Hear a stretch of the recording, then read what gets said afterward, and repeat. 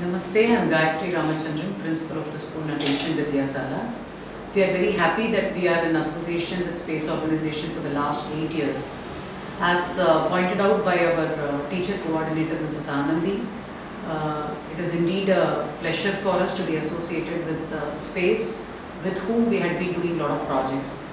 For instance, uh, we had organized several uh, night sky observation recently we had this uh, super moon observation also where a lot of uh, parents had participated. The students also enthusiastically participated.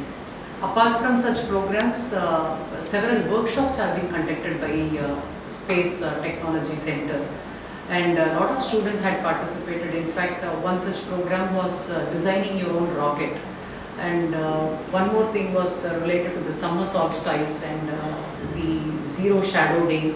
Such things, you know, gives a lot of information to the students and we do have plans uh, associating with space uh, for future projects as well. Like uh, one among that is uh, having our own curriculum for uh, uh, space sciences. I am sure that many students will be able to participate and this will be a motivation for them to join organizations like ISRO in future.